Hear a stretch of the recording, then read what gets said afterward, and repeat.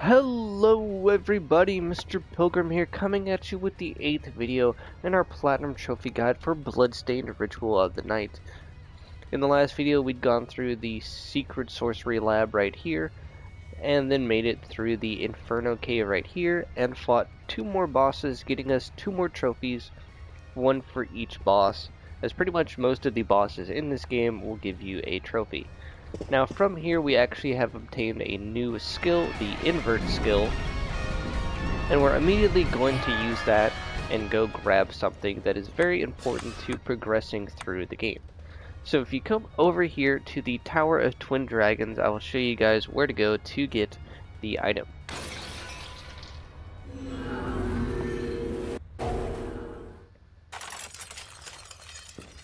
So from here you're basically just going to go as if you want to fight the boss of the game. As you'll see, pretty much the weapons and stuff that we have right now are pretty much destroying everything in the area. We'll wait for the elevator to come up, of course. And we'll ride it all the way down. Now you can hold down and it'll skip past any uh, elevator stops along the way, as you'll see. So here, what you're going to want to do is simply just come out right here and invert, invert. like so. You'll fall all the way down right here onto this little ledge.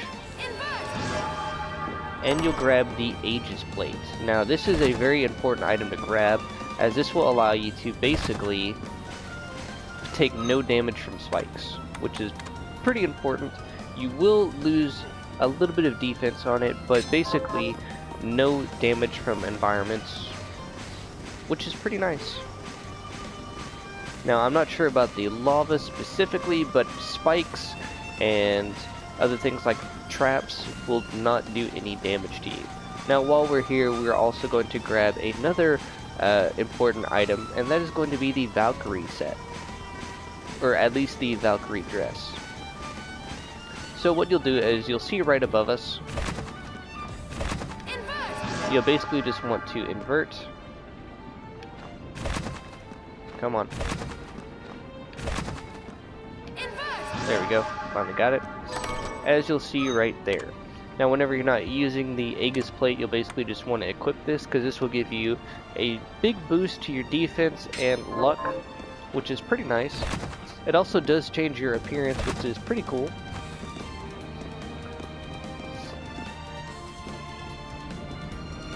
From here, we'll basically just go back the way we came.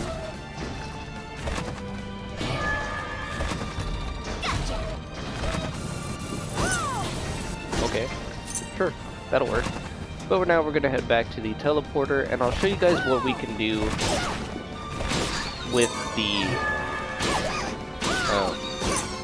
item that we had just obtained.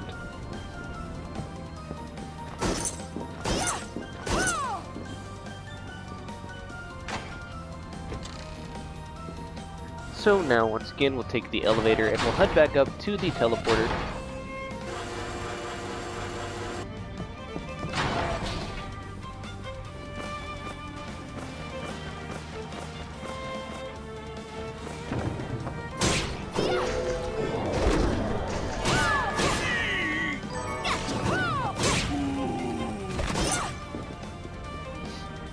So from here, we're basically going to be heading all the way back to the entrance of the area, depending on however you want to do that. By all means, you can. I think just going from Arvantville into the first area is perfect, so I'll see you guys once we are there. Alright, so once you guys are now back here at the entrance of the castle, you're just going to want to invert whatever side you want to be on. Doesn't matter entirely, of course.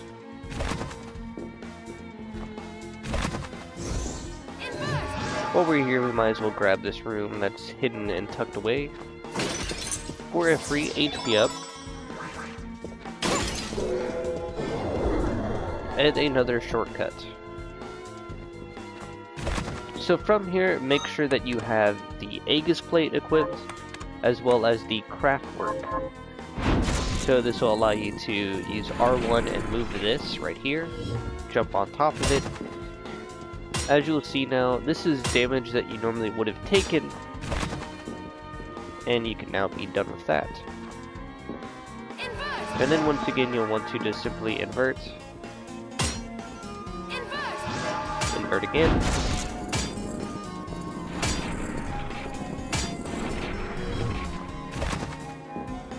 And one last time we are going to, or two more times we're going to invert.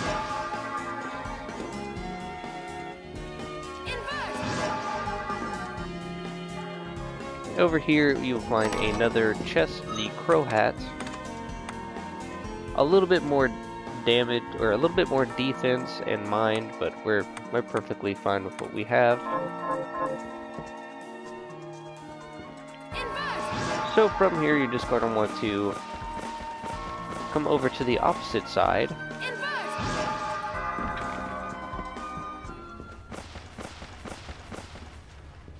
And here you will make it to the Oriental Sorcery Lab.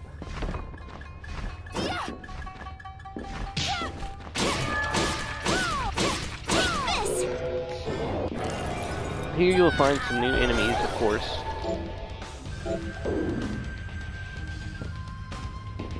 Now, depending on things, you might want to just run through the area.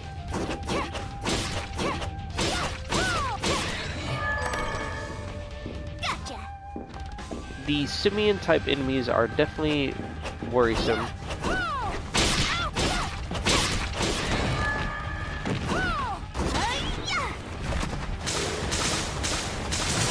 As well as the Haagenti enemies. But coming up here, off to the right,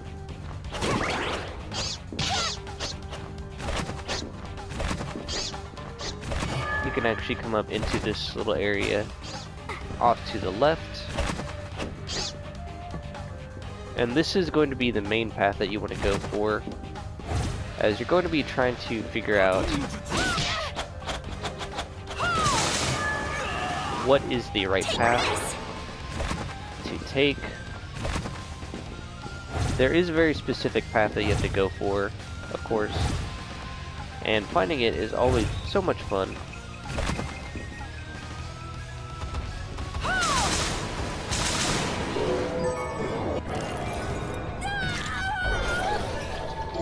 Now, the item I just got, the bovine plume, you want to make sure you farm one of those from the uh, enemy types, the cows as that will allow you to get the high jump ability, which is pretty cool.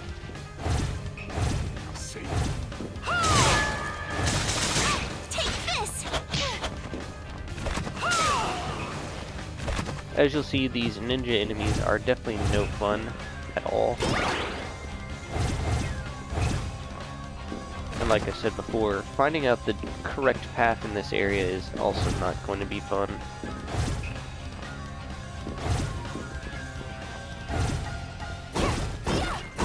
Here you can find a secret room tucked away with the Kitsune mask, which is actually a really good item. Yes, we lose out on some damage, but the defense is also really nice.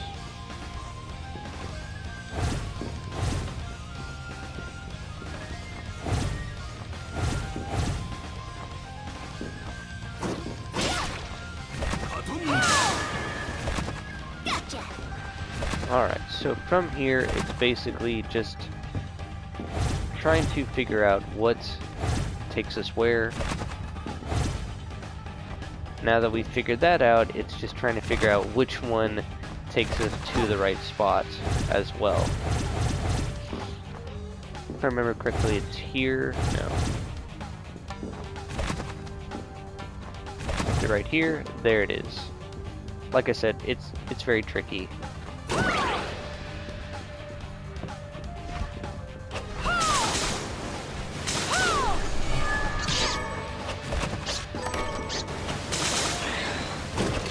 Here you'll find the gear for the Crimsonite equipment.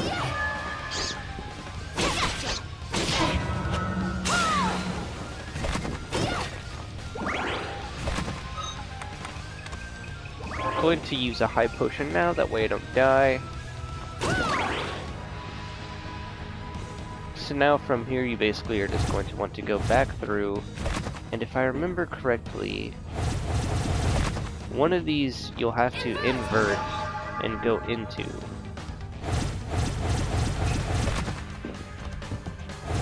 There it is, okay.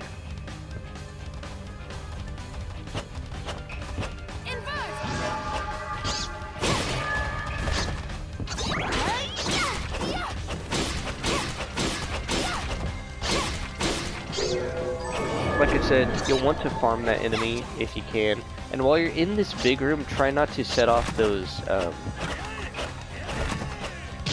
not sure what these traps are, but just try not to set them off.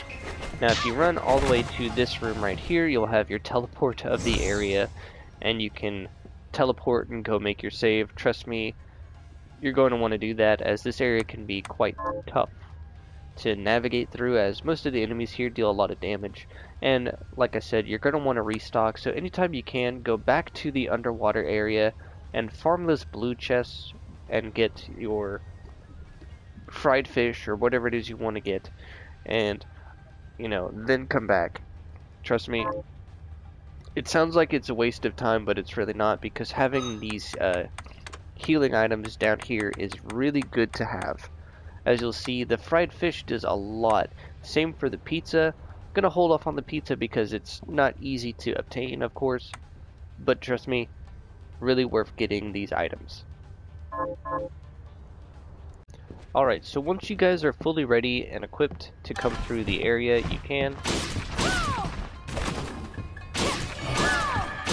Now, depending on things, you can just take these enemies on one at a time.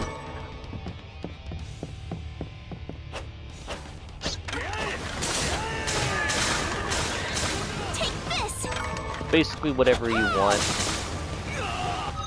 Now, also don't forget to equip the Shinobi Garb if you happen to get any, or if you are feeling more inclined, you can use the Valkyrie dress. It's really up to you.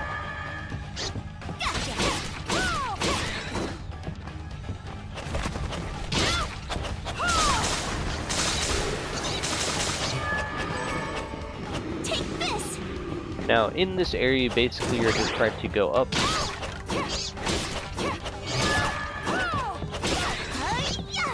From here you'll fight.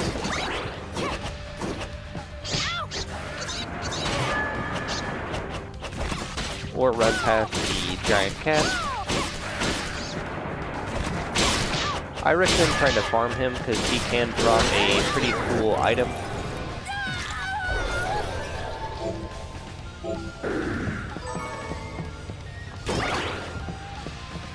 So if you're feeling up for it, by all means. It'll be a lot easier if you just run to the exits and then just have to deal with the demon. Like so, as you'll see, a lot easier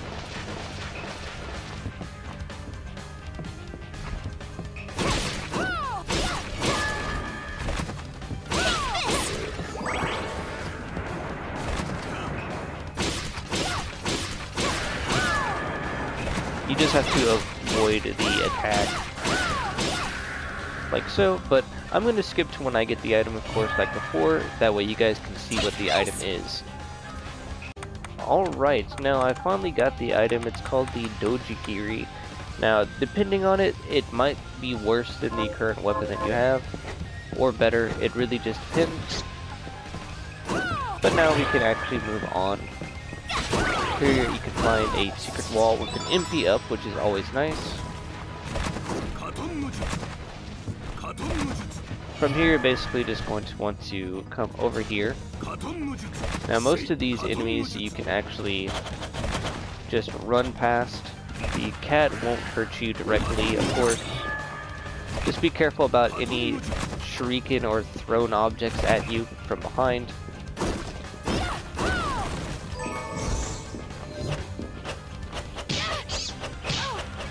Depending of, of course on your RNG or luck, the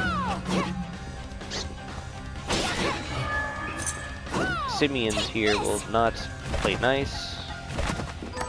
Here you can always find some soy sauce. Okay. But from here, we're now going to head to the final part of the area and get past all of these ninjas. If you see them squat down like so, they're doing a flame attack. It's best to try and just jump to avoid them.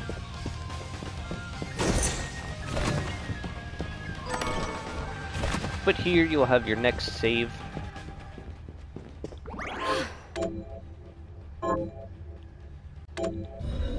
Alright, so for this fight, I highly recommend just having whatever gives you the best stats overall for damage, defense, anything like that. Basically, just go for what you think is best overall. Really, it's just, like I said, it's entirely up to you what you want to use, of course. Some things are better than others, some things are worth having and not having. But now from here, we're going to go and fight Zangetsu for the actual real this time. This time it's almost just like his actual fight, except this time he actually does quite a bit of damage.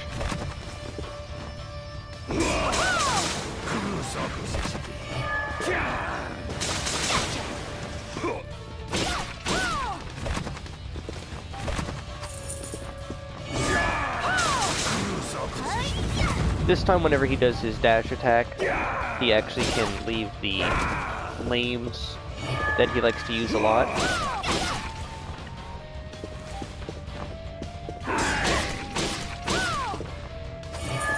Like I said before, whenever he does that attack, you can bait him into a direction.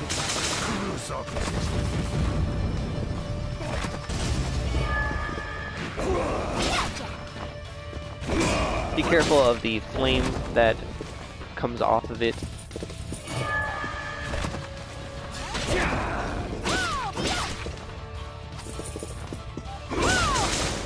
Be careful not to stand too close to him, of course.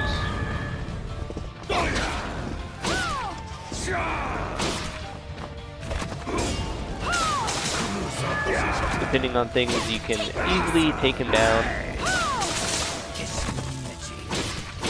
He'll also switch to lightning as well.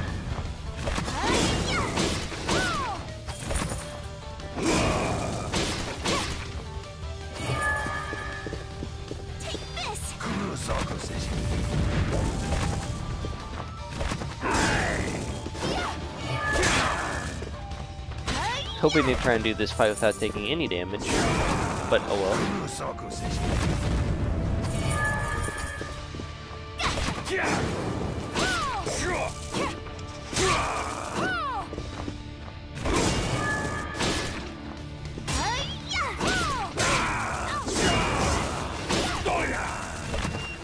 Now it's all just falling apart here on me.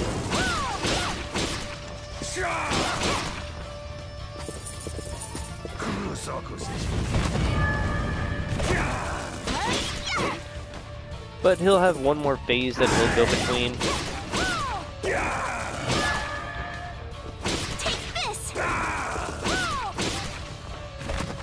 Like I said, just trying to jump in between and bait him into attacks.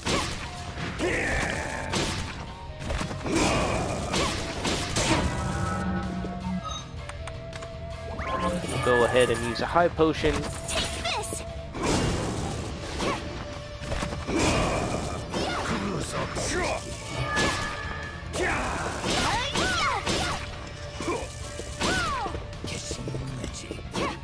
The last ability he'll switch to is Ice.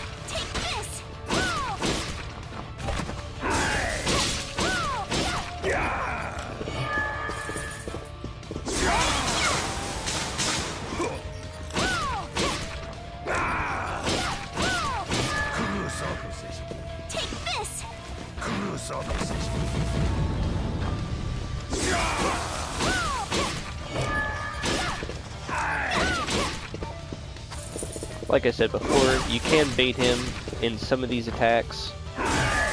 With the ice, he'll instead send a wave of ice forward whenever he attacks.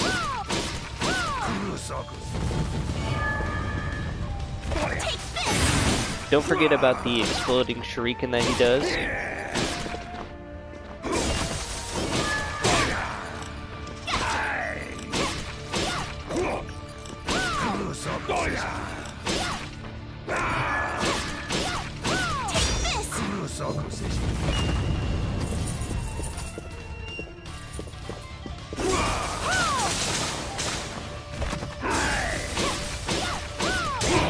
As you can see, it is pretty much a mirror match of his first encounter.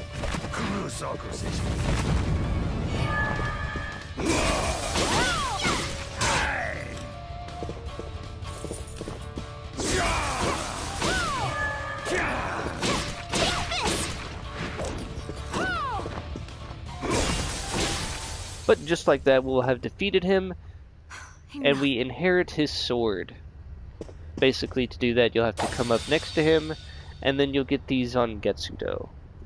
Pretty cool, if I do say. It is actually a really strong weapon. It's almost equal to the uh, weapon that we currently have.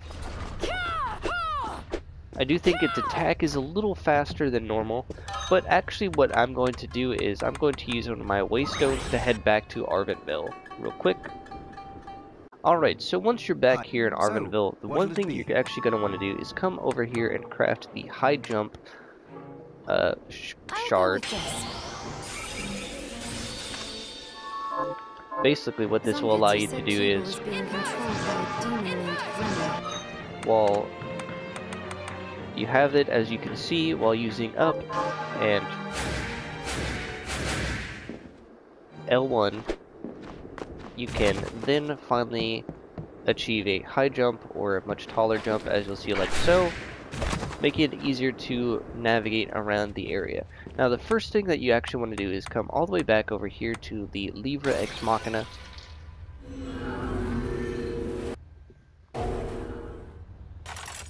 And we can get another trophy while we are here. So first things first, you're basically just going to want to come in and you can talk to OD again and he should have some new books for us to check out. Or not, okay. Be certain to return. Oh well. Now from here, if you actually just come down here, come over here, right here you can just do that at least 10 times and you will get a chest to spawn.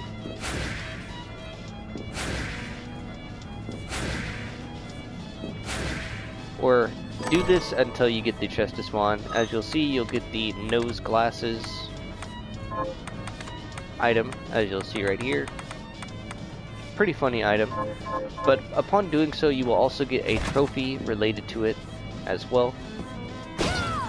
So now what we're actually going to do is we're actually going to go and fight Gebel and actually go for the good ending of the game. So from here you're just going to go back to the Hall of Termination.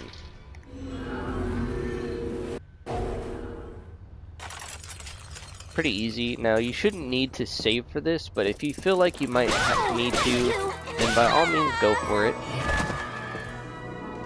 And now while we're also here, we can also finally head up here and grab the legendary equipment, which is pretty nice. And then we will be able to finally fight Gebel and save him. Alright, once you are ready, you'll enter. You'll do the fight like normal, of course.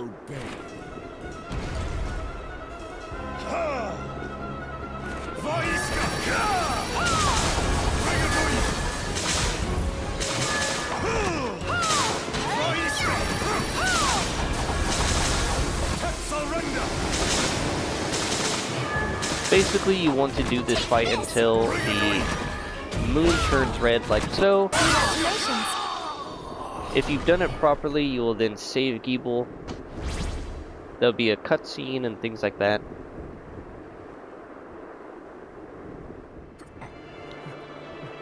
Pretty easy, as I do say so. I missed you. That should.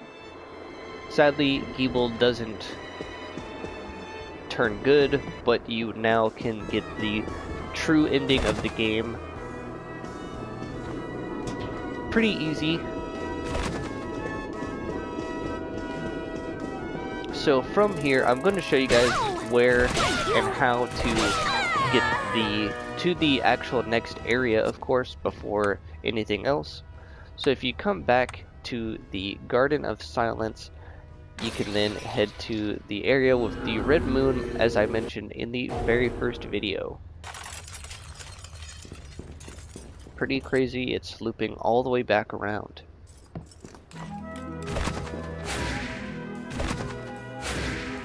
But as you can see, having the high jump makes navigating a whole lot easier in some regards.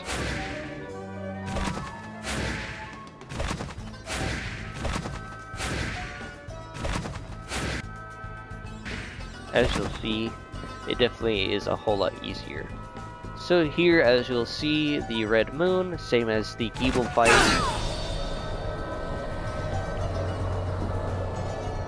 Curse you. And that will allow us to enter the next area of the game. However, I'm going to stop the video right here just because I want to have that be its whole video in itself as there is a total of I think three or so bosses overall for that area of the game.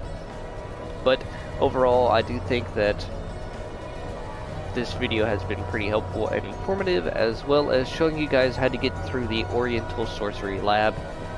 It is definitely not the easiest task, of course. I do also highly recommend having plenty of stock items and healing as well, now do note that while you have the ability, I would highly recommend going and full clearing the rest of the map, or getting as much as you can done, trying to grab as many of the chests as you can, as that will help you out in the long run as well. Like I said, it's entirely up to you when you would like to do that, of course, or if you want to just straight follow these guides. But as always, I do hope that these guides have been informative and helpful in any way, shape, or form. As always, this has been Mr. Pilgrim, and I'll see you in the next video.